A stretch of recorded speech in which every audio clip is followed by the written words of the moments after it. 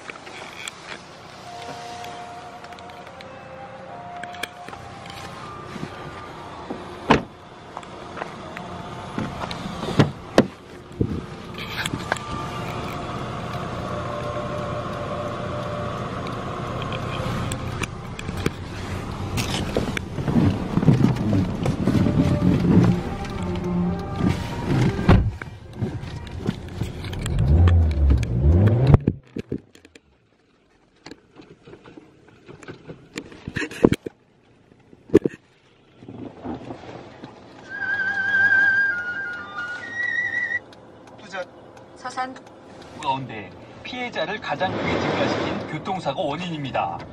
손해보험협회 자료에 따르면 최근 3년간 설 연휴 기간 중대 법규 위반 교통사고 피해자가 평상시보다 11% 증가한 반면 음주운전과 무면허 운전사고 피해자는